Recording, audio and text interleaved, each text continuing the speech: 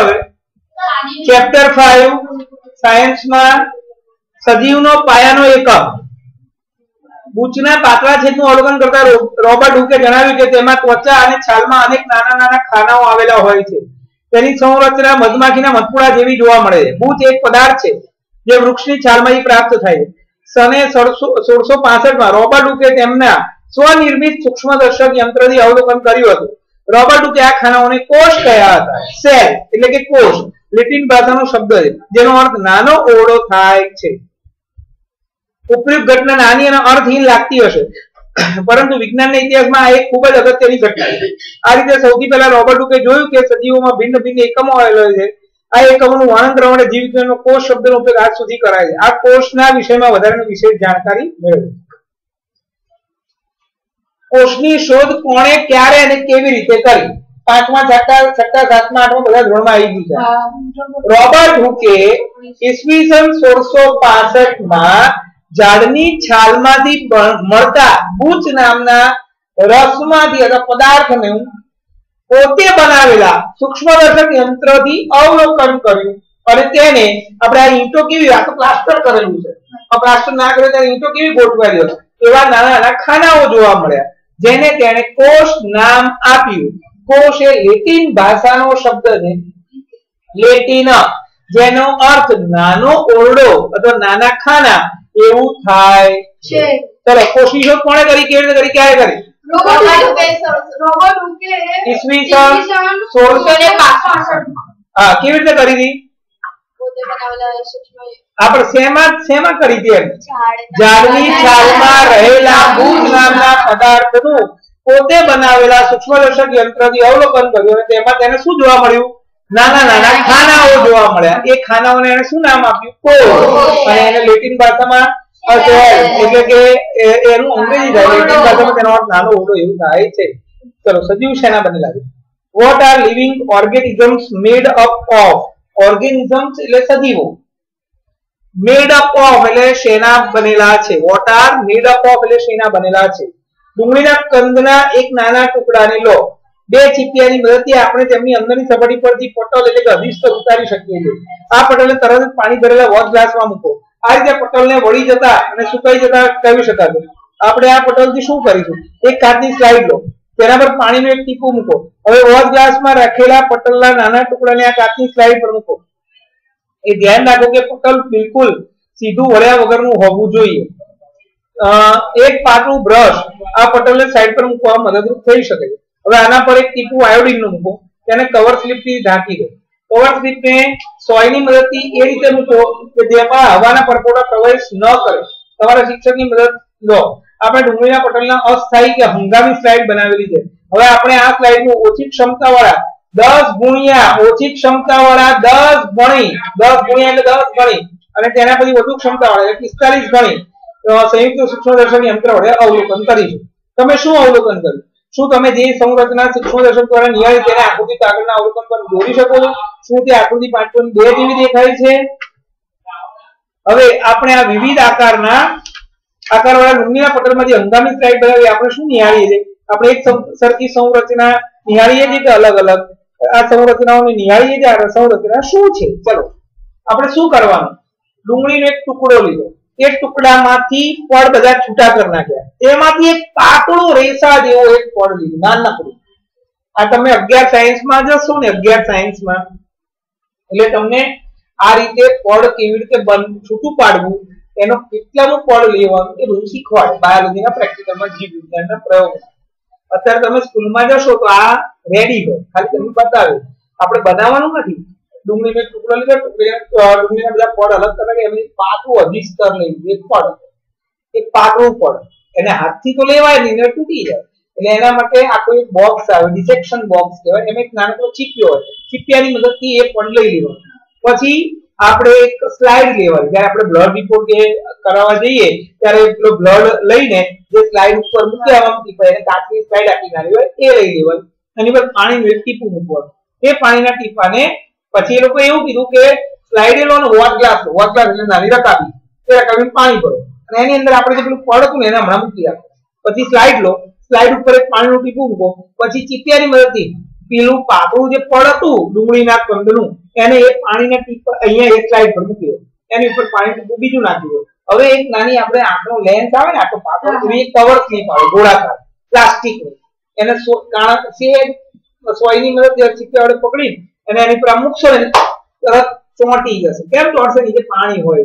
ચોંટી જાય એટલે બધું પાણી અને હવા વધારાનું જે હોય બધું બહાર નીકળી જાય. એટલે હવે રચના કેવી થઈ? આ સ્લાઇડ એમાં સહેજ પાણી પછી એની ઉપર પેલો સ્તર અને પછી કવર સ્લીપ અમે એક વસ્તુ ભૂલી ગયા આપણે, કે પાણી મૂક્યું પડ મૂક્યું, પછી આયોડીનનું એક અભિરંજક છે, એનું એક બે ટીપા ઉપર નાખી દેવાના એની ઉપર, પછી કવર સ્લીપ નાખી દેવાની, અને પછી આજુબાજુ બધું લૂસી નાખવાનું. પછી એને બે મિનિટ કહેવા દેવાની, એટલે વધારાનું પાણી બહાર ઉડી જાય. હવે એને એ જે સ્લાઇડ તૈયાર થઈ, એને સૂક્ષ્મદર્શક યંત્રમાં જોવાનું. એમાં બે પ્રકારે સૂક્ષ્મદર્શક યંત્ર આવે. એક દસ ગણી, મોટું બતાવતા અને એક પિસ્તાલીસ ગણું મોટું બતાવે દસ ગણું છે, એને સંયુક્ત સૂક્ષ્મદર્શક યંત્ર. અને બીજું આવે ઇલેક્ટ્રોનિક માઇક્રોસ્કોપ કહેવાય છે. ઘણું બધું વધારે બતાવે. દસ ગણું પણ વધારે બતાવે. આપણું બ્લડ રિપોર્ટ નીકળે, દસ ગણો વધારે બતાવતું ને એમાં માઇક્રોસ્કોપમાં નીકળે એટલે એ સ્લાઇડમાં તમે જોશો, તો નીચે આકૃતિમાં બતાવ્યા પ્રમાણે એવી સંરચના જોવા મળે છે. નાના નાના ખાનાઓ જોવા મળશે દરેક ખાનાઓ વચ્ચે ગોળાકાર નાનકડો, તો ગોળ દેખવા મળશે. તો એને એ લોકોએ નામ આપ્યું. આ દરેક ખાનું એક કોષ છે અને એની મધ્યમાં એક નાની ગોળાકાર રચના જોવા મળે. એને કોષ કેન્દ્ર કહેવામાં આવે છે. ખબર પડી ગઈ બધાને? ચલો. સ્લાઇડ બનાવતા આવડી ગઈ ને હવે? આયોડિનનું આયોડિન શું છે આયોડિન અભિરંજક. અભિરંજક, ના ના એ તો મીઠામાં આયોડિન નામનું તત્વ હોય છે. પણ આયોડિન અભિરંજક વડે શું કામ થાય? તો તમે જે ખાના જોશો ને ખાના એની અંદર રહેલી અંગિકાઓ ચોક્કસ રંગથી રંગાઈને અલગ અલગ દેખાય. તમે બ્લેક એન્ડ વ્હાઈટ પિક્ચર હોય અને રંગીન પિક્ચર હોય, તમને કયું સારું લાગે? એટલે આમાં આયોડિનનું ટીપું નાખવાથી જે સ્લાઇડની અંદર ખાના હતા, એ ખાના સિવાય અંદર જે નાની નાની ગોળાકાર રચના હશે, એ રંગીન બની જતી હશે. એને કારણે આપણને અલગ દેખાય, એને આપણને એનો જોવાની મજા આવે અને આપણને અલગ બંનેનો ભેદ પારખી શકીએ કે જો હા આ ગોળાકાર દેખાયું સમજ પડી ગયા. ચલો, આ સંરચના શું છે? આ બધી સંરચનાઓ એક જેવી જ જોવા મળે. આ બધી મળીને એક મોટી સંરચના, કંદનું શલકી આવરણ બનાવે જેમ કે ડુંગળી. આ પ્રવૃત્તિ આપણને ખ્યાલ આવે કે વિવિધ કદની ડુંગળીમાં સૂક્ષ્મદર્શક યંત્ર દ્વારા નિહાળવા એક જેવી સંરચના જોવા મળે છે. ડુંગળીના કોષો એક સમાન સંરચના ધરાવે. ડુંગળીના કણ સાથે તેનો કોઈ સંબંધ નથી. આપણે એમ કીધું કે એક ટુકડો લીધો, ડુંગળીનો બીજો ટુકડો લો. ડુંગળીનો બીજો પણ લઈ લો, કોઈ પણ. તો બધામાં રચના કેવી જોવા મળશે. એક સરખી એટલે ડુંગળીનો કોઈ પણ ટુકડો કોઈ પણ પડ લો તો બધાની અંદર સંરચના એક સમાન જ જોવા મળે છે. એને ડુંગળીના કંદ સાથે, એને ટુકડા સાથે કોઈ લેવા દેવા નથી. ટુકડો નાનો હોય કે મોટો હોય અંદર હોય બહારનો હોય, આપણે એનાથી કોઈ લેવા દેવા બધાની અંદર જોવા મળતી રચના એક સમાન હોય છે. આ નાની નાની સંરચના જે આપણે નિહાળી રહ્યા છે, તે ડુંગળીના કંદના શલ્કી પણ કે શલ્કનો મૂળભૂત એકમ છે. આ સંરચનાને કોષ કહેવાય માત્ર ડુંગળી જ નહીં, પરંતુ જેટલા પણ સજીવો આપણી આસપાસ આપણને જોવા મળે છે તે બધા જ કોષોથી બનેલા છે. જો કે કેટલાક સજીવો એક કોષીય હોય, આપણી આસપાસ જેટલા પણ સજીવો જોવા મળે છે, એ દરેક સજીવ કોષનો બનેલો છે. પછી નાનામાં નાના જીવાણુ હોય કે મોટામાં મોટા કદના મનુષ્ય હોય કે નાનામાં નાના કદના છોડ હોય કે સૌથી મોટા મોટા કદના વૃક્ષ હોય દરેક નો પાયાનો એકમ કોષ છે? દરેકની અંદરની રચના શેની બનેલી હોય? કોષની. આપણે પણ આખું શરીર આપણું કેવું રીતે શરીર બન્યું ખબર તમને? તો જુઓ આપણા શરીરમાં બહુ બધા અંગો છે અંગો. આંખ નાક કાન હાથ વગેરે એટલે ખરેખર થાય શું? આપણા શરીરમાં અબજોની સંખ્યામાં કોષો છે. અબજોની સંખ્યામાં કોષો છે. બહુ બધા કોષો ભેગા મળીને એક પેશી બનાવે. બહુ બધી પેશી મળીને અંગ બનાવે. બહુ બધા અંગો ભેગા મળીને અંગ તંત્ર બનાવે. બહુ બધા અંગ તંત્રો ભેગા મળીને શરીર બનાવે. આપણે કેટલા બધા અંગ તંત્રો છે ખબર? પાચન તંત્ર, જે માત્ર પાચનનું કામ કરે. શ્વસન તંત્ર, જે માત્ર ઓક્સિજનનું કામ કરે CO2 ને બહાર લાવે. રુધિરાભિસરણ તંત્ર, જે રુધિરને આખા શરીરમાં વહેવાનું કામ કરે. ઉત્સર્જન તંત્ર જે આપણા શરીરનો કચરો બધો બહાર બહાર કાઢવાનું કામ કરે હવે હવે પાચન તંત્ર છે પાચન તંત્ર. આ બધા તંત્રો ભેગા મળીને શરીર બને. તો આપણે એક તંત્રનું ઉદાહરણ લઈએ પાચન તંત્ર. તો પાચન તંત્ર અંગોનું બનેલું છે. શેનું બનેલું છે? એમાં આવે મોઢું એટલે કે મુખ પછી અન્નળી જઠર નાનું આંતરડું મોટું આંતરડું મળાશય મળદ્વાર. આ બધા પાચન તંત્રના અંગો થયા. હવે એ અંગોની અંદર પેશીઓ આવેલી હોય. એ પેશીઓની અંદર કોષો આવેલા હોય. એટલે છેલ્લે તો આપણું કોઈ પણ તંત્ર જે છે એનું બનેલું છે. કોષો. સમજણ પડી ગઈ? એટલે સજીવનો રચનાત્મક એકમ કોષ છે. સજીવનો રચનાત્મક એકમ કોઈ પણ સજીવની રચના કોના દ્વારા થાય? કોષો દ્વારા. સામાન્ય એક કોષીય સૌથી નાનામાં નાનો સજીવ કોણ છે ખબર એક કોષીય સજીવ જેના શરીરમાં એક જ કોષ છે. અમીબા. ને પેરામીશિયમ એ તો બીજા બધા આવશે. પણ આપણને જાણીતા અમીબા ને પેરામીશિયમ તેની અંદર એક જ કોષ એક કોષ જ એનું શરીર. અને આપણામાં આપણે જટિલ બહુકોષીય સજીવ શરીર રચના ધરાવીએ છીએ. આપણે કેવી રચના ધરાવીએ. જટિલ બહુકોષીય. બહુકોષીયમાં પાછા બે પ્રકાર આવે. સરળ બહુકોષી અને જટિલ બહુકોષી જટિલ બહુકોષી એટલે આપણામાં એટલું જટિલ છે કે આપણામાં ચોક્કસ કોષો ભેગા મળીને ચોક્કસ પેશીની રચના કરે. પાચન તંત્ર શ્વસનનું કામ ના કરે શ્વસન તંત્ર પાચનનું કામ ના કરે. કેમ એવું? કારણ કે એની અંદરના કોષો એક ચોક્કસ પેશી બનાવે એ પેશી ચોક્કસ અંગ બનાવે ચોક્કસ અંગ ચોક્કસ અંગ તંત્ર બનાવે. અંગ તંત્રમાં રહેલા અંગો ચોક્કસ કાર્ય કરે. એટલે જટિલ બહુકોષી કહેવાય. ઘણા સરળ બહુકોષી બધા કોષો એક સરખું જ કામ કરતા ભલે બહુકોષી બહુ બધા કોષો. બધાનું કામ કેવું હોય? એક આપણામાં એવું નથી એટલે આપણે જટિલ બહુકોષી ખબર પડી ગયા? હા. ચલો. હવેનો પેરેગ્રાફ બહુ જાણ અગત્યનો. બે માર્ક કે ત્રણ માર્ક પણ પૂછાય છે. વધુ જાણવા જેવું લખ્યું છે ને એ.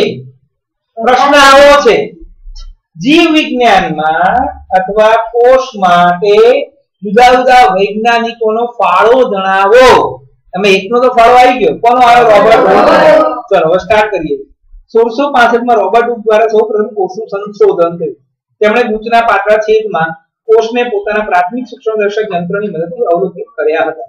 હવે વારો આવ્યો સોળસો માં લ્યુવાન હોકે વધુ વિકસિત સૂક્ષ્મદર્શક, વધુ વિકસિત સૂક્ષ્મદર્શક યંત્રની મદદથી સૌ પ્રથમવાર ખાબોચિયાના મુક્તજીવી કોષોનું સંશોધન કર્યું. ખાબોચિયાના મુક્તજીવીનો મતલબ ખબર પડે છે એક કોષી અમીબા પેરામીશિયમ અને એવું કીધું ખાબોચિયાના ખાબોચિયા એટલે ગંદા પાણીમાં રહેતા મુક્તજીવી કોષોનું સંશોધન. મુક્તજીવી એટલે માત્ર એક જ કોષ ધરાવતા, પોતાની રીતે ફરતા શરીર કોષો એટલે કે અમીબાને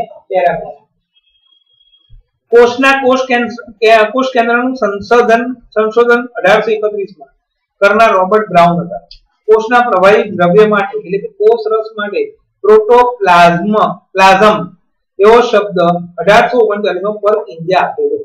પહેલા સોળસો બાસઠ, પછી સોળસો ચુમ્મોતેર પછી અઢારસો એકત્રીસ, પછી આવ્યું અઢારસો ને ઓગણચાલીસ. પછી કોષવાદ અઢારસો આડત્રીસમાં આવ્યો. આડત્રીસ ઓગણચાલીસમાં. એમાં બે વૈજ્ઞાનિકો સ્લાઇડન અને સ્વોન દ્વારા રજૂ કરવામાં આવ્યો હતો. એણે એવું કહ્યું હતું, બધી વનસ્પતિ અને પ્રાણીઓ કોષોના બનેલા છે અને કોષ એ સજીવનો પાયાનો એકમ છે. એ પછી અઢારસો પંચાવનમાં વિર્સોવ નામનો વૈજ્ઞાનિક આવ્યો. એણે કોષવાદને વિસ્તૃત કર્યો અને એણે એમ કહ્યું કે પૂર્વ અસ્તિત્વ ધરાવતા કોષોમાંથી નવા કોષોનું સર્જન થાય છે. ઓગણીસો ચાલીસમાં ઇલેક્ટ્રોનિક માઇક્રોસ્કોપના સંશોધનથી કોષની જટિલ સંરચના સમજવી અવલોકન કરવું વિવિધ અંગીકરણનો અભ્યાસ કરવો શક્ય બને. ચાલો. પહેલો સોળસો પાસઠ. રોબર્ટ આપણે તો કોષ્ટક જ બનાવી દીધું સાલ વૈજ્ઞાનિકનું નામ અને એની શોધ. સોળસો પાસઠ. રોબર્ટ હુક કોષ રબરને ઝાડના છાલમાંથી કોષની શોધ સૌ પ્રથમ કોષની શોધ કરી. પછી અઢાર સોળસો ચુમ્મોતેર. લ્યુવાન હોક લ્યુવાન હોકે મુક્તજીવી અથવા પોતાના સૂક્ષ્મદર્શક યંત્રની મદદથી તેણે વધુ વિકસિત, ખાબોચિયાના મુક્તજીવી કોષોનું સંશોધન કર્યું. પછી સોળસો ચુમ્મોતેર પછી કોણ આવ્યું? અઢારસો એકત્રીસ. Robert Brown. કોષમાં કોષ કેન્દ્ર આવેલું છે, તેની શોધ કરી હતી. અઢારસો ઓગણચાલીસમાં કોષમાં જે અંદર રસ આવેલો છે, પ્રવાહી આવેલું છે પરકિંજે એને કોષ રસ નામ આપ્યું. અઢારસો આડત્રીસ ને ઓગણચાલીસમાં કોષવાદ રજૂ કર્યો સ્લાઇડર અને સ્વોન નામના વૈજ્ઞાનિક કોષવાદના એમણે બે મુદ્દા આપ્યા. કે દરેક વનસ્પતિ હોય કે પ્રાણી હોય, દરેક સજીવ એ કોષોનો બનેલો છે. અને તે સદીનો પાયાનો એકમ છે. પછી અઢારસો ને ઓગણચાલીસમાં સ્લાઇડર અને નવો વૈજ્ઞાનિક વિર્શો એણે કોષવાદને વિસ્તૃત કર્યો. એણે એમ કીધું કે જે કોષો નાશ પામી જાય છે, તો એની સ્થાને નવા કોષોનું સર્જન જૂના કોષોમાંથી જ થાય છે. એટલે પૂર્વ અસ્તિત્વ ધરાવતા કોષોમાંથી જ નવા કોષોનું સર્જન થાય છે. અને પછી છેલ્લે ઓગણીસો ને ચાલીસમાં ઇલેક્ટ્રોનિક માઇક્રોસ્કોપની શોધ થઈ. એના દ્વારા બધા કોષોનો અભ્યાસ કોષની અંદરની બધી અંગિકાઓનો અભ્યાસ કરવો સરળ પડ્યો. ખબર પડી ગઈ? કે ના ખબર પડી?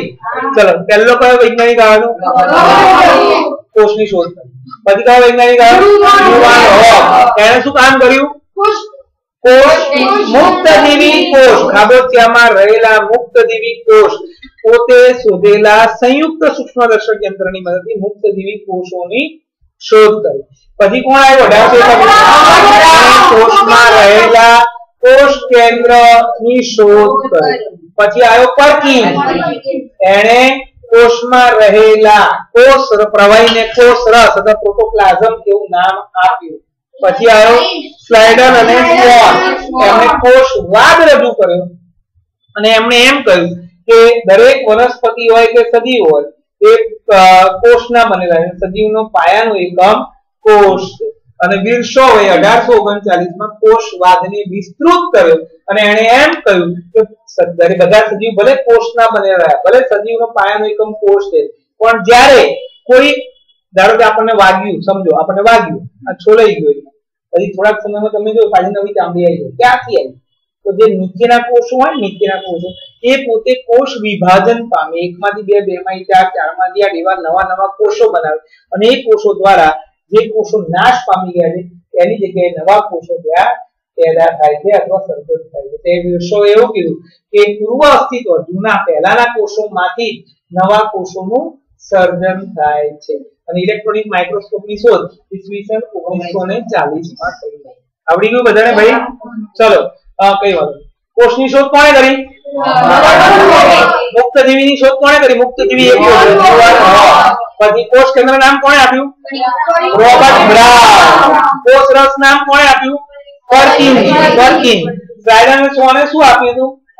કોષવાદ કોષવાદના બે મુદ્દા કયા? કયા બે મુદ્દા કયા?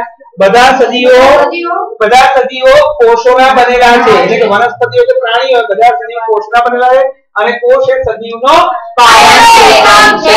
અને વિલ્સોએ શું કર્યું? આ કોષવાદને વિસ્તૃત કર્યો. અને એણે એમ કહ્યું કે નવા કોષોનું સર્જન પૂર્વ અસ્તિત્વ ધરાવતા કોષોમાંથી થાય છે.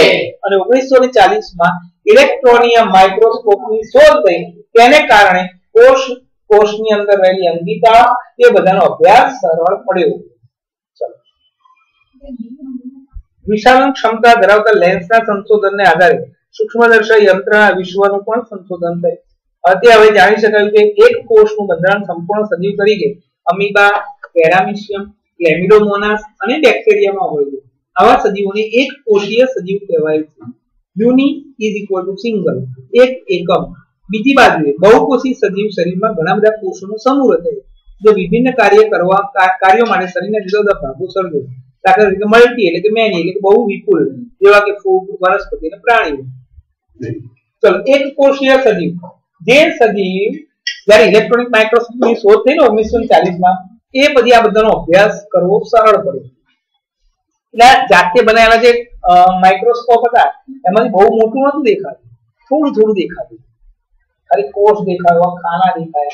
પણ પછી ઇલેક્ટ્રોનિક માઇક્રોસ્કોપ જે હતું ને દસ હજાર ગણું મોટું બતાવે અંદરની વસ્તુ. એટલે એ કોષની અંદર, કોષ કેન્દ્ર કોષ કેન્દ્રની અંદર શું છે? એ દેખાડે.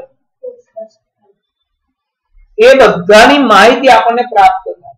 એટલે એ બધાની શોધ ઇલેક્ટ્રોનિક માઇક્રોસ્કોપ પછી સરળ થઈ એટલે ઇલેક્ટ્રોનિક માઇક્રોસ્કોપ પછી એક કોષીય સજીવને એમ કીધું એક કોષ ધરાવતો યુવાન વખતે એમ જ કીધું, મુક્ત નિરી કોષ મળ્યો મને. એમ સજીવ શબ્દ ના વાપર્યો શું શબ્દ વાપરેલો એટલે ફરતો એક કોષ મને દેખાયો એમ. પણ પછી આ ઇલેક્ટ્રોનિક માઇક્રોસ્કોપની શોધ થઈ.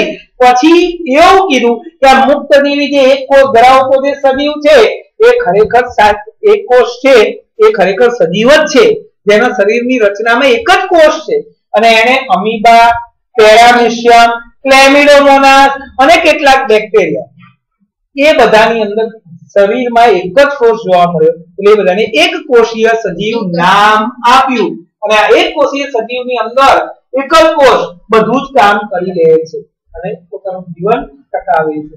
જ્યારે બહુકોષીય સજીવ વનસ્પતિઓ પ્રાણીઓ આ બધામાં બહુ બધા કોષો હોય છે. એમાં ઘણા બધા કોષો ભેગા મળીને એ ચોક્કસ કાર્ય કરે છે. આથી એને જટિલ બહુકોષીય સજીવ શરીર રચના કહેવામાં આવે છે. ચલો. પ્રત્યેક બહુકોષી સજીવ એક કોષમાંથી જ ઉદ્ભવે છે. કેવી રીતે? બહુકોષીનું પણ નિર્માણ શેમાંથી થયું એક જ કોષમાંથી. ખરેખર થાય છે શું? એક કોષમાંથી બે કોષ. તમે તમે બાળકનો જન્મ થાય બાળકનો જન્મ. તો બાળકનો જન્મ કેવી રીતે થાય? તો ખરેખર એવું છે કે નર કોષ અને માદા કોષ બે ભેગા થાય એટલે બીજ બને. બીજ, આટલું નાનું બીજ. એની અંદર એક જ કોષ હોય. પછી એને સતત એ પોતે કોષ વિભાજન પામતું રહે. એકમાંથી બે કોષ બે માંથી ચાર કોષ ચારમાંથી આઠ કોષ આઠમાંથી સોળ કોષ, એમ કોષોની સંખ્યા વધતી જાય. અને એને માતાના શરીરમાંથી પોષણ મળતું જાય. અને એ કોષ દડા જેવો બને. એને ગર્ભ કહેવાય. અને એમાંથી પછી બાળકનો જન્મ થાય. એટલે તમે વિચાર કરો, આટલા નાના ટપકામાંથી આટલા બાળકનો નવ મહિને જન્મ થાય બસો સિત્તેરથી બસો એસી જશે. બસો સિત્તેરથી બસો એસી દિવસ અંદર શું કામ થતું હોય? તો કે એક કોણ? તમે વનસ્પતિ ઉગાડો છોડ ઉગાડો તો શું થાય એમાં? કુંડું લીધું માટી ખાતર બધું નાખ્યું પાણી એટલું નાખ્યું બીજ નાખ્યો. તમે થોડા સમય સુધી ખાતર પાણી જરૂર પ્રમાણે આપતા રહો. તો બે ત્રણ મહિનામાં એમાં નાનકડો છોડ ધરી હશે. તો ક્યાંથી આવ્યો? એ બીજ જે હતું એ બીજમાંથી એક જ કોષ હોય એમાંથી પછી કોષ જાતે વિભાજન પામીને એકમાંથી બે બન્યા, બેમાંથી ચાર બન્યા, ચારમાંથી આઠ બન્યા અને બહુ બધા કોષો બન્યા. એમાંથી એમાંથી પાછા ઘણા બધા કોષોએ પોતાના જૂથ બનાવી દીધા. કે ચલો આપણે પંદર એક સોળ એક સરખા પેલો કે આપણે સોળ એક સરખા, આપણે સોળ એક સરખા. આ સોળે ભેગા થઈને મૂળ બનાવ્યું. આ સોળ કોષોએ ભેગા થઈને પ્રકાંડ બનાવ્યું. ઘણા બધા સોળ કોષોએ ભેગા થઈને પર્ણ બનાવ્યું. ખબર પડે એવું શું કહું એટલે એ લોકોએ જૂથ બનાવીને પોતાના અંગની રચના કરી અને આ બધા અંગો ભેગા મળીને એક શરીરની રચના કરે છે. આમ બહુકોષીય સજીવનું નિર્માણ પણ એક જ કોષમાંથી થાય છે. પ્રવૃત્તિ આપણે જુદા જુદા કંદ કદના પર્ણના આવરણ કે સ્તર કે ડુંગળીના મૂળાગ્ર કે ડુંગળીના પટલ લઈને પટલ એટલે પડ. લઈને હંગામી, હંગામીનો મતલબ ખબર છે? ટૂંક સમય માટે કાયમી ના કહેવાય. તમે બ્લડ રિપોર્ટ આપ્યો તો એ તમને શું કહે છે? મહિના પછી જાઓ, તમે એમ કહો અરે ત્રણ દિવસ પછી જાઓ, તમે એમ કહો, મેં બ્લડ આપ્યું, ત્રણ દિવસ પહેલા ફરી રિપોર્ટ મને આવી દેજો તો ના પડે તો હવે ના ચાલે. એને હંગામી કહેવાય. હંગામીનો મતલબ ટૂંક સમય માટે અને કાયમી એટલે લાઈફ ટાઈમ એવું કહેવાય. એટલે હંગામી આ બધી સ્લાઇડો બનાવી દીધા. ચલો ઉપરી પ્રવૃત્તિ કર્યા બાદ આપણે નીચેના પ્રશ્ન શું? બધા કોષો કદ અને આકારમાં સમાન છે? ના. બધા કોષો કદ અને આકારમાં સમાન હોય એવું જરૂરી નથી. શું બધા કોષની સંરચના સમાન છે? ના. બધા કોષની સંરચના આ બેઝિક સંરચના સમાન છે. પણ અંદરની અંગિકાઓ થોડી પ્લસ માઇનસ થતી હોય. વનસ્પતિ દેહના વિભિન્ન ભાગોમાંના કોષો વચ્ચે ભિન્નતા પારખી શકાય છે? હા. આપણને શું સમાનતા જોવા મળે છે? કેટલાક સજીવો ભિન્ન પ્રકારના કોષો પણ ધરાવે નીચેની આકૃતિ જુઓ. જો આપણા શરીરની અંદર આ મસલ્સ છે ને મસલ્સ એની અંદર સ્નાયુ કોષો, જો એની આકૃતિ આપે સરળ સ્નાયુ કોષો. તો આપણા શરીરની અંદર રુધિર છે ને બ્લડ એ બ્લડની અંદર પણ કોષો છે. એને રુધિર કોષો કહેવાય. એની અંદર પાછા ત્રણ પ્રકારના કોષો હોય. રક્તગણ શ્વેતકણ અને ત્રાકકણ રક્તગણ લાલ રંગનો હોય, શ્વેતકણ વ્હાઈટ રંગનો હોય ત્રાકકણ ત્રાકાકાર હોય. રક્તગણની અંદર હિમોગ્લોબિન હોય. એ હિમોગ્લોબિન ઓક્સિજન ને લાવવાનું કામ કરે. પછી શ્વેત કણની અંદર સૈનિકો હોય જે આપણા શરીરમાં દાખલ થતા જીવાણુ સામે રક્ષણ આપવાનું કામ કરે અને ત્રાસ કણો જ્યારે આપણને ક્યારે વાગે અને શરીરના અંગમાંથી રુધિર બહાર આવે ત્યારે એ રુધિર જેવું શરીરની બહાર આવે એ ટૂંક સમયમાં ગંઠાઈ જાય. ત્યાં પોપડું બાજી જાય છે. તો એનું મુખ્ય કારણ છે ત્રાસ કણો. રુધિર ગંઠાઈ જવાની ક્રિયામાં મહત્વનો ભાગ છે. જો રુધિર ના ગંઠાય તો શરીરમાંથી બધું રુધિર વહેતી જાય એટલે માણસનું મૃત્યુ થઈ જાય. એટલે ત્રાક કણો પણ એટલા અગત્યના રુધિર ગંઠાઈ જવાની ક્રિયામાં અગત્યનો ભાગ ભજવે છે. રુધિર કોષો કેટલા પ્રકારના કીધા? રક્તકણ શ્વેતકણ અને હરિતકણ તો બધા વનસ્પતિના કોષમાં હોય. ક્લોરોફિલ નામનું દ્રવ્ય ચલો. તેઓના વિશિષ્ટ કાર્યને સંબંધિત કોષોના આકાર અને કદ હોય. આ નીચે બી વાંચી રહ્યા છે આકૃતિમાં રુધિર કોષો થઈ ગયા ને? પછી આવ્યું ચેતાકોષ. જો ચેતાકોષની અસર બતાવો. બતાવો. બતાવો. જો અસર થઈ. ને અસર? મેં એને આમ આમ કરીને આમ કર્યું. તો તરત શું થાય ખબર છે? અહીંયા આપણા એના હાથને આમ માર્યું. તો અહીંયા આ અંગમાં સ્વીગી વાળા ઝોમેટો વાળા બે લાઈન હોય. એટલે કે બે પ્રકારની ચેતા પેશી હોય.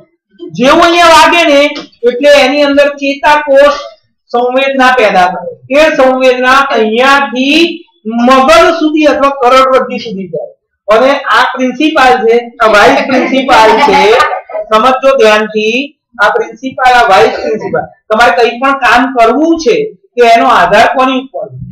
મગજ. તમને ઈચ્છા થાય, અથવા ના થાય આઈસીયુ માં બેભાન પડેલા માણસ જીવે છે કરો, પણ કશું કઈ ખબર નથી કે શું કામ કરે હા, કારણ કે એનું મગજ બંધ કોમામાં રહેલો વ્યક્તિ. પણ સાંભળજો ધ્યાનથી. એટલે મગજ અહીંયા મેં આ કરો તો અહીંયાથી સંવેદના, ચેતાકોષો દ્વારા એ સંવેદના, કોષો ભેગા મળી પેશી રચના કરી. હમણાં આવશે આગળ. એ કોષો ચેતાકોષ, બીજો ચેતાકોષ, એમ કરી ચેતાપેશી આવે. એ ચેતાપેશી એ અહીંયા સુધી, તમે અહીંયા સુધી બે જગ્યાએ જોઈન કરો. હવે એને એમ લાગે કે ઉતાવળ નથી, તો પ્રિન્સિપાલ જોડે જાય. પ્રિન્સિપાલની ઓફિસમાં બધા કામ કરતા હોય આની અંદર બધા કામ કરે કે જે સંવેદના આવે ને એને વિદ્યુત સંકેતોમાં ફેરવી નાખે અને પછી એનું અર્થઘટન કરે. અને અર્થઘટન થઈ જાય પછી એનો જવાબ આપો સંવેદનાનો. અને એ જવાબ લઈને એક બીજી ચેતાપેશી હોય એ ચેતાપેશી રિવર્સ હોય. એ મગજથી અહીંયા સુધી આવે જ્યાં આપણને વાગ્યું ત્યાં. અને એમ કે છે ભાઈ તમારો હાથ લઈ લો વાગશે નહીતર વધારે. કેટલા ટાઈમમાં તું વિચારી ના શકે એટલા ટાઈમ કેમ? એ પણ સમજો એના પ્રશ્નો પણ જવાબ આપણે ચાલતા હોઈએ. ફોન પર વાત કરતા હોઈએ. પગ ખુલ્લા છે. પગ ખુલ્લા છે. સાંભળજો. અને નીચે કોઈ ખીલ્લી કે ટાંકણી આવી ગઈ. અને આપણે ચાલીએ. અને જેવું પગ ખીલી પર કે ટાંકણી પર પડે તરત આમ થઈ ગયું કેમ કારણ કે વાઇસ પ્રિન્સિપલ એ બધું કામ કરે. આપણા પગને જ્યારે ખીલી કે ટાંકણી અડીને ત્યારે એની અંદર સંવેદના પેદા થાય. એટલે અહીંયાથી ચેતાપેશી એ સંવેદનાને અહીંયાથી અહીંયા ને અહીંયા. બે કોઈ એક જગ્યાએ લઈ જવું પડે. હવે સાંભળજો ભાઈ બે માંથી કઈ જગ્યાએ લઈ જશે? મગજમાં કે કરોડરજ્જુ? જો મગજમાં લઈ જાય તો એને કરોડરજ્જુ અહીંયા. કરોડરજ્જુ અને મગજ, બંને ડિસ્ટન્સ જે નજીક પડે એમાં જાય. જો ખરાબ અસર થતી હોય તો. તો એને ખબર છે, એ સંવેદના ખરાબ છે, વાગે એવી છે. એટલે એ કરોડરજ્જુમાં લઈ જશે, મગજમાં નહીં લઈ જાય. મગજમાં લઈ જાય તો વાર લાગે, વધારે વાગે. એટલે કરોડરજ્જુ ત્યાંથી ને ત્યાંથી. ફટાફટ જવાબ આપી દેશે. તો એ પગ લઈ લે. એટલે અહીંયાથી બીજી સંવેદના બીજી ચેતાપેશી એ જવાબ લઈને અહીંયા પગ પર આવશે. અને પગને કહેશે એના કોષોને કહેશે કે એ પગ લઈ લે. ઓર્ડર આવે. પગ લઈ લેશે આપણે સાયકલ ચલાવતો હોઈએ. અને અહીંયા માખી મચ્છર આપણે આમ કરીએ. પડી જઈએ. શું થાય? શું થાય? આખો ઓટોમેટિક બંધ થઈ જાય. કેમ જેવી માખી કેવું કે અહીંયા આવે ને, તરત આંખના કોષોમાં સંવેદના પેદા થાય. એ સંવેદના અહીંયા જાય અથવા અહીંયા જાય. ફટાફટ જવાબ અને જવાબ મળે બંધ એ આપણા હાથને જવાબ આપવાની જરૂર નથી. હવે આને ધારો કે આ ભાઈબંધે અને આમ કરીને આમ કર્યું આ તો હું હતો આ તો હું હતો એટલે મને કશું એને પ્રતિકાર ના આપ્યો પણ એની જેની આમ કર્યું હોત તો આ તરત સામે એક લગાવી દે. કેમ? કેમ? અહીંયાથી સંવેદના અહીંયા ગઈ અના મગજે શું કીધું? કે બકા તને વાગશે પણ સામે વાળાએ માર્યું એટલે આપણે બીજી બે મારી દેવાની એમ. એટલે એના હાથને ઓર્ડર કરશે બે લગાવી દે સમજણ પડે એવું શું કહું છું? આ ચેતાકોષનું કામ આવું છે. મગજમાં લઈ જવાનું મગજમાંથી જવાબ લાવવાનો ખબર પડી ગયા હવે નીચે જુઓ અંડકોષ. એ માદા જનન કોષ મેં તમને કીધું કે શુક્રકોષ નર જનન કોષ કહેવાય. અંડકોષ માદા જનન કોષ કહેવાય. બંને ભેગા થાય એટલે બીજ બને અને એમાંથી ગર્ભ બને પછી બાળકનો જન્મ થાય. નીચે શુક્રકોષ લખ્યું દેખાય ને? એ નર જનન કોષ પછી અસ્થિ કોષ અસ્થિ એટલે હાડકા. હાડકા. હાડકાની અંદર જે કોષ છે અસ્થિ કોષ આપણા હાડકું છે. આપણા હાડકું છે. પણ આ કાસ્થિ છે. અસ્થિ નથી. આને હું આમ કરું? જેવું આવું કરું એવું આને કરું. પટકાઈ જાય. અસ્થિ અસ્થિ અને આ કાસ્થિ બંને ફરક આગળ આવશે ભણવા. છઠ્ઠા પાઠમાં. પછી મેદ કોષ. આ મેદ કોષ છે અહીંયા આપણે આ મળીએ ને. મેદ એટલે ચરબી. ચરબીનું સંગ્રહ કરતા કોષ. એને મેદ કોષ કહેવાય. ખબર પડી ગઈ ખબર પડી ગઈ ને? એટલે આપણા શરીરની અંદર જટિલ જટિલ બહુરચના કેમ કીધી? જટિલ બહુકોષીય રચના. કારણ કે બહુ બધા કોષ છે. એ બધા કોષો એક સમાન રચના ધરાવતા નથી. અલગ અલગ પ્રકાર. સ્નાયુ કોષે છે ચેતાકોષે છે, પછી શુક્રકોષે છે અંડકોષે છે, પછી અસ્થિ કોષો છે, પછી મેદ કોષો છે. આવા અલગ અલગ પ્રકારના ઘણા બધા કોષો રુધિર કોષો છે. તેઓના વિશેષ કાર્યને સંબંધિત કોષોનો આકાર અને કદ હોય છે. કેટલાક કોષો અમીબાની જેમ આકાર બદલતા રહે છે. કેટલાક કોષોનો આકાર ઓછા વત્તા અંશે નિયત પ્રકારના કોષો માટે નિયત હોય. ચેતાકોષો લાક્ષણિક આકાર ધરાવે કેટલાક કોષો અમીબાની જેમ આકાર ધરાવે અમીબા એટલે અનિયમિત આકાર ધરાવતું કોષ. એનો આકાર ગમે ત્યારે ગમે તે હોય. આપણા શરીરમાં પણ કેટલાક કોષો હોય જેનો આકાર નિશ્ચિત નથી. પણ એવા કેટલાક કોષો છે જેનો આકાર નિશ્ચિત છે. ચેતાકોષ એ વિશિષ્ટ પ્રકારનો આકાર ધરાવે છે. દરેક કોષ એમના કાર્યના અનુસાર આકાર અને કદ ધરાવે છે. ચેતાકોષ લાંબો હોય. કેમ? કે સંવેદના લઈ જવાનું. જેટલું લાંબુ હોય, ઝડપથી એ ગતિ કરી શકે. પ્રત્યેક જીવન કોષ કેટલાક પાયાના કાર્ય કરવાની ક્ષમતા ધરાવે છે. તે બધા સજીવોની લાક્ષણિકતા જો પ્રત્યેક જીવન કોષ દરેક કોષમાં કેટલાક કાર્યો કોમન જ હોય અને કેટલાક અંગો કોમન જ છે, એ સમાન કાર્યો થાય. જેમ કે કોષ છે, એને ઘર હોય, ઘર.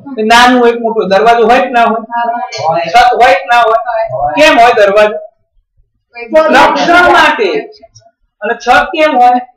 વરસાદ કે કોઈ પણ ઋતુમાં આપણા ઘરમાં નુકસાન ના થાય આપણને નુકસાન ના થાય. એ કોમન વસ્તુ થઈ ગઈ. બધા દેશોમાં પાયાના લક્ષણો ધરાવતા અથવા પાયાના કાર્યો ધરાવતા રચના સમાન હોય છે. ચલો બહુકોષી સજીવો જેમ કે મનુષ્યમાં શ્રમ વિભાજન થાય એ તો મેં તમને સમજાવ્યું. આપણા શરીરમાં શ્રમ વિભાજન કેવી રીતે? તો આપણા શરીરમાં એક કરોડ કોષો એવું માની કેટલા કોષો છે? એમાંથી ધારો કે એવું માનીએ કે એક લાખ કોષો ભેગા મળીને પાચન તંત્રના અંગો બનાવી દીધા. અને એક લાખ કોષોનું કામ એક જ સરખું. કયું? પાચન કરવા. પછી એક લાખ કોષોએ ચેતા તંત્ર બનાવી દીધું. ચેતા તંત્ર એટલે ચેતા ગોળા સંવેદના વાળું મગજ કરોડરજ્જુ વાળું તો એ લોકો બધા ભેગા થઈને માત્ર સંવેદનાનું વહન કરે એવું જ કામ કરવાનું નક્કી કર્યું. એ રીતે કે એક લાખ કોષોએ ભેગા મળીને રુધિરાભિસરણ તંત્ર બનાવી દીધું જે ધમની, શીરા, રુધિર કેશિકાઓ, લસિકા એ બધાનું નિર્માણ કર્યું. જે આપણા શરીરમાં બધે વહનનું કામ કરે. એ સિવાય કેટલાક એક લાખ કોષો ભેગા મળીને ઉત્સર્જન તંત્ર બને જે શરીરના કચરાનો નિકાલ કરવાનું કામ કરે. એટલે આપણામાં શ્રમ વિભાજન થયું. તમારા સ્કૂલમાં શ્રમ વિભાજન શ્રમ વિભાજન મેં તમને ના કીધું કે તમારી સ્કૂલમાં ભલે દસ ટીચર હોય. દરેક ટીચર એક સરખું બધું નથી ભણાવે. એક ટીચર સમાજ વિદ્યા ભણાવે, એક સર ઇંગ્લિશ ભણાવે, કોઈ ગણિત ભણાવે, કોઈ વિજ્ઞાન ભણાવે, કોઈ ગુજરાતી ભણાવે, કોઈ કોમ્પ્યુટર ભણાવે, કોઈ પીટી ભણાવે. એને શ્રમ વિભાજન થયું કહેવાય? એટલે આપણા શરીરમાં પણ જુદા જુદા કાર્ય કરવા માટે જુદા જુદા કોષો ભેગા મળીને એક ચોક્કસ અંગનું નિર્માણ કરે છે. એને શ્રમ વિભાજન થયું છે? તેમ કહેવાય. માનવ શરીરમાં હૃદય, રુધિર પંપનું કાર્ય કરે આપણા શરીરમાં હૃદય જે છે પંપ જેવું કાર્ય કરે. ધબક એનાથી શું થાય? પમ્પિંગ થાય. પમ્પિંગ થાય એટલે હૃદયમાંથી રુધિર આખા શરીરમાં ફેલાય. અને પછી શરીરમાંથી રુધિર હૃદયમાં પાછું આવે. તો આ પમ્પિંગનું કામ કરે છે. ભવ્ય હું તો નહીં ગઈ ભવ્ય ટુ સીએન વાળો પ્રોબ્લેમ ચલો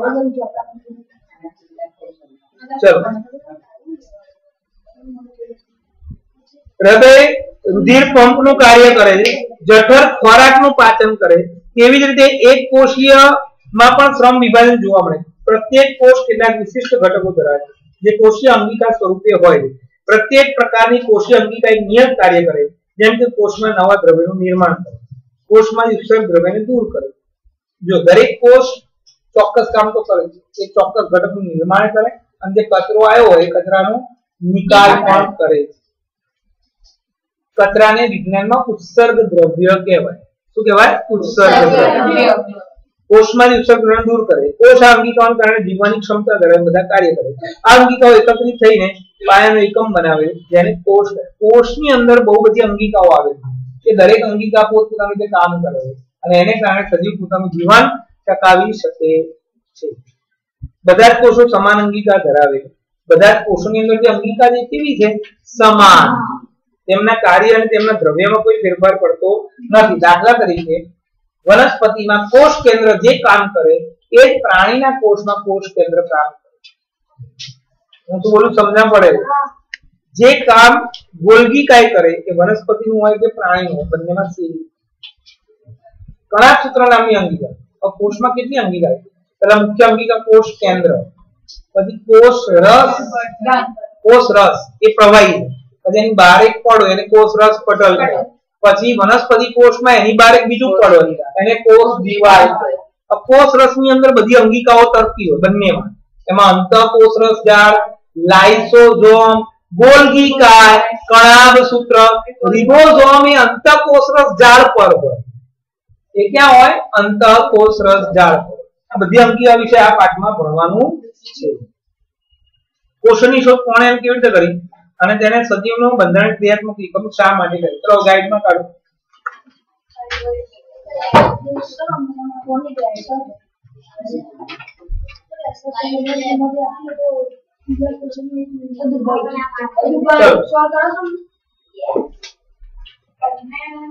ચલો, પ્રશ્ન એક.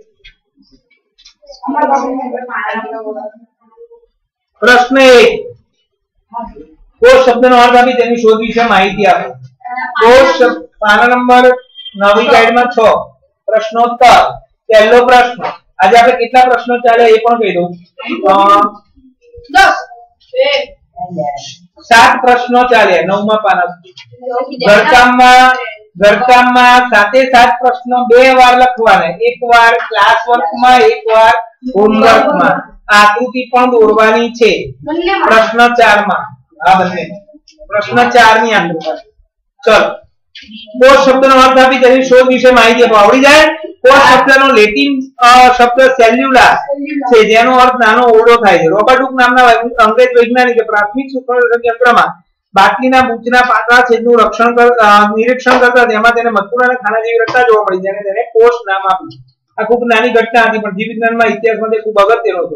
રોબર્ટ હુકે જોયું કે સજીવમાં ભિન્ન ભિન્ન એકમો એકમો માટે જીવવિજ્ઞાનમાં કોષ શબ્દનો ઉપયોગ કર્યો આપણે જે ભણાયું ને એ બધું હવે ફરી રિપીટ કરાવું છું. પ્રશ્નોત્તરી રીતે એટલે ધ્યાન રાખજો. ચલો પ્રવૃત્તિ એ નથી કરતા આપણે. આજે આ પ્રવૃત્તિ નથી લખવાની. પણ જે પ્રવૃત્તિ કામની હશે લખવાની હશે. આજે આ પ્રવૃત્તિ નથી લખવાની.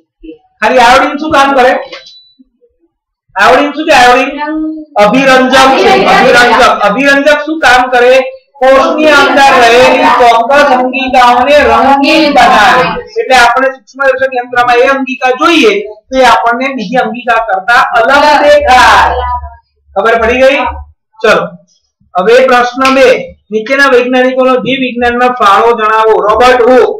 એમણે બુચની આ અંગ્રેજ વૈજ્ઞાનિકે જાતે સૂક્ષ્મદર્શક યંત્ર બનાવી. તેમાં કોકની છાલ એટલે કે બુચના નિર્જીવ કોષો જોયા બુચની મધપૂર્ણાની ખાના જેવી રચના તેમણે સૌપ્રથમ કોષ નામ આપ્યું બીજું વાંચ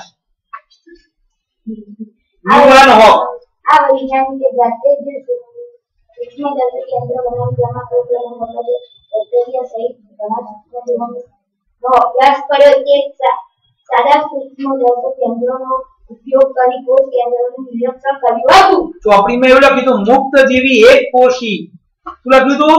મુક્તજીવી એકકોષીય સજીવની શોધ કરી. અને આ લોકો બેક્ટેરિયા શબ્દ વાપરો બંને સેમ જ ગણાય. ચલો ત્રીજું. માર્ટભાઈ રોબર્ટ બ્રાઉન આ વૈજ્ઞાનિક વનસ્પતિ કોષમાં લાક્ષણિક ગોળાકાર કાય નહીં. એટલે મધ્યમાં એક ગોળાકાર ભાગ આવેલો છે. એને કોષ કેન્દ્ર નામ આપ્યું. તમે પરિકિંચ અઢારસો ઓગણચાલીસ. આ વૈજ્ઞાનિકે કોષમાં રહેલા જીવન પ્રવાહી દ્રવ્યને પ્રોટોપ્લાઝમ નામ આપ્યું. એટલે કે કોષ રસ અથવા જીવ રસ નામ આપ્યું. ચલો પછી સ્લાઇડર અને સ્વોન. તેમના રજૂ કર્યું. વનસ્પતિઓ પ્રાણીઓ કોષોના બનેલા છે. તો આની ધ્યાનથી વાંચવાનું. બધા જ વનસ્પતિ ને પ્રાણીઓ શેના બનેલા છે? કોષોના બનેલા આ કોષ એ સજીવ શરીરનો પાયાનો એકમ છે. એવું કોષ વાંચતા બે મુદ્દા થયા ચમાટભાઈ વિશ્વ આધુનિક કોષમાં રજૂ કર્યો અને સમજાવ્યું કે પૂર્વ અસ્તિત્વ ધરાવતા હા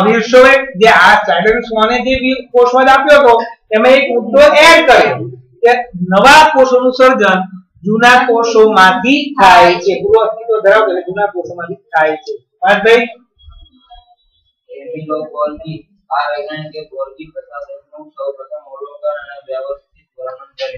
આ વસ્તુ અત્યારે આમાં નથી પણ પાછળ જ્યારે અંગિકા ભણીશું ત્યારે કેમિલો ગોલ્ગીનું નામ આવશે ગોલ્ગીકાએ અંગિકાની શોધ કરી હતી.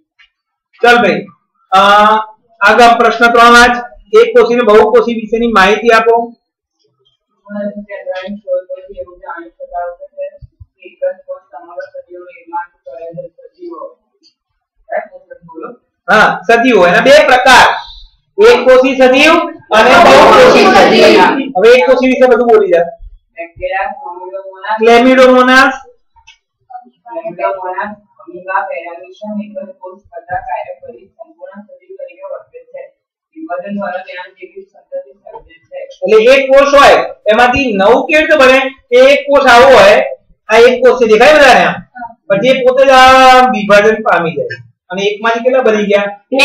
એમ કરતા કરતા પોતાની સંખ્યા વધારે છે. સિવાયની ફૂગ વનસ્પતિ અને પ્રાણીઓ. એક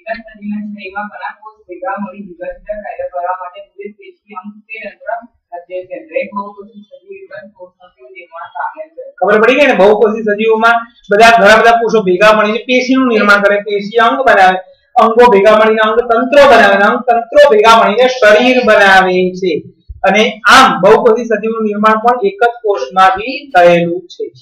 ચલો ભાઈ, દરેક સજીવમાં કોષ વિભાજન થઈ શકે તેવા પ્રકારના કોષો ઉત્પન્ન થાય. એટલે દરેક સજીવમાં જે કોષો છે એનું કોષ વિભાજન થઈને પૂર્વ અસ્તિત્વ ધરાવતા કોષોમાંથી નવા કોષોનું સર્જન થાય છે. ચોથો પ્રશ્ન આકૃતિનો છે. પાંચમો પ્રશ્ન અદિતિ વાંચ સજીવોમાં શ્રમની રચના સમજાવો. સજીવોના કદ અને આકાર તેના વિશિષ્ટ કાર્ય સાથે સંબંધિત હોય છે. વિવિધ કાર્ય કરવા માટે કોષો નિશ્ચિત કદ અને નિશ્ચિત આકાર ધારણ કરે છે. દાખલા તરીકે અમીબા જેવા પ્રાણીના કોષનો આકાર સતત બદલાતો રહે છે. એક કોષી પ્રાણી હોવાથી તેમાં ઉચ્ચ સજીવોની માફક, પેશી, અંગ, તંત્ર સ્વરૂપે આયોજન નથી. પરંતુ ચોક્કસ કાર્ય કરવા માટે ચોક્કસ કોષીય અંગિકાઓ હોય એની અંદર ભલે એક કોષ હોય, એમાં એટલે કોઈ અંગ ના હોય, પણ એની અંદર એવી અંગિકા હોય જે પોતાના બધા દરેક અંગિકા પોતપોતાની રીતે પોતાનું કામ કરે છે. કોષમાં ચોક્કસ દ્રવ્યનું નિર્માણ અન્નકણોનું પાચન કોષમાંથી ઉત્સર્ગ દ્રવ્યને દૂર કરવા વગેરે કાર્ય ચોક્કસ અંગિકા વડે થાય છે. કોની વાત કરી? એક કોષીમાં એક કોષીની અંદર પાચન થઈ જાય એના માટેની અંગિકા હોય લાઇસોસોમ નામની અંગિકા હોય અન્નધાની નામનો ઘટક હોય કોથળી હોય એની અંદર લાઇસોસોમ એક ખોરાકનું પાચન કરે. પછી એમાંથી કચરો પેદા થાય. એ કચરાને બહાર પણ કાઢવા માટે એક અંગિકા હોય. આ રીતે અમીબાની એક કોષની અંદર જ રહેલી જુદી જુદી અંગિકાઓ બધા કામ કરે છે.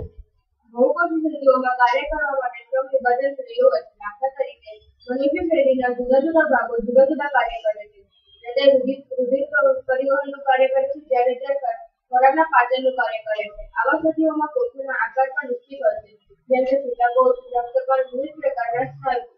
આમ એક પછી સજીવોમાં અંગીકાર કરે જ્યારે બહુકોષી સજીવોમાં પેશી અંગ તંત્ર કક્ષાએ શ્રમ વધે જુદું હોય છે.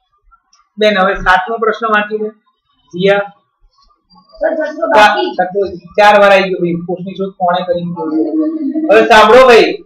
સાત પ્રશ્ન મોઢે જોઈએ કાલે. તમે કાલ આવશો એટલે પહેલા પૂછીશ. તમે કાલ આયા કરો પ્રશ્ન પ્રશ્ન બધા જવાબ આપતા નતા જોયું તું ને ભાઈ? ચલો. શા માટે સજીવનો બંધારણીય તેમજ ક્રિયાત્મક એકમ કહે છે? સજીવને અરે કોષને સજીવનો બંધારણીય એટલે કે સજીવ બન સજીવ આખો કોનામાંથી બન્યો હતો કે કોષમાંથી? અને એનો ક્રિયાત્મક એકમ. ક્રિયાત્મક એટલે કોષ ના હોય તો કોઈ ક્રિયા જ ના થાય. શા માટે એવું? તો બંધારણીય એકમ કેમ કીધો? કારણ કે બધા કોષો ભેગા મળીને શેની રચના કરે? પેશી. પેશી ભેગી મળીને શેની રચના કરે? અંગ. અંગ. ભેગા મળીને શેની રચના કરે? અંગ તંત્ર અંગ તંત્ર ભેગા મળીને શેની રચના કરે? શરીર. એટલે કોષ ના હોત તો આ કશું બનાત નહીં. એટલે સજીવનો બંધારણીય એકમ કોષ છે. બીજી વસ્તુ. કે સજીવ શરીરની જેટલી જૈવિક ક્રિયાઓ છે એ કોના કારણે થાય છે? તો કે કોષમાં રહેલી અંગિકાઓને કારણે. એટલે જો કોષ ના હોત તો આપણા શરીરના કોઈ પણ જૈવિક કાર્યો પણ થાત નહીં. આથી એવું કહી શકાય કે કોષ એ સજીવનો બંધારણીય એકમ અને ક્રિયાત્મક એકમ છે. એક કોષી સજીવો એક જ કોષમાં બનેલા છે અને બધા જ પાયાના કાર્યો કરવાની ક્ષમતા ધરાવે છે. ઉચ્ચ કક્ષાના બહુકોષી સજીવો પેશી અંગકીય તંત્ર કક્ષાનું આયોજન ધરાવતા હોવા છતાં તેમના સજીવ તેમના જીવનની શરૂઆત યુગ્મનદથી થાય છે બહુ મેં તમને જે કીધું ને યુગ્મ નદી એનાથી જ થાય એમાંથી મોટો સજીવ બન્યો. તો કેવી રીતે બન્યો? કોષ વિભાજન દ્વારા. બહુકોષી સજીવોમાં શ્વસન પ્રકાશ સંશ્લેષણ પ્રજનન વગેરે કાર્યો કોષીય સ્તરે થાય છે. આથી કોષને સજીવના બંધારણીય તેમજ ક્રિયાત્મક એકમ કહે છે. ચલો ખબર પડી ગઈ બી બધાને? એક થી સાત પ્રશ્ન બે વાર લખેલા જોઈએ ક્લાસ વર્ક હોમવર્ક અને મોઢે જોઈએ. કાલે હું પૂછી નહીં આપણે ફરી બે વાર લખવા પડશે. ચારમાં આવવાની.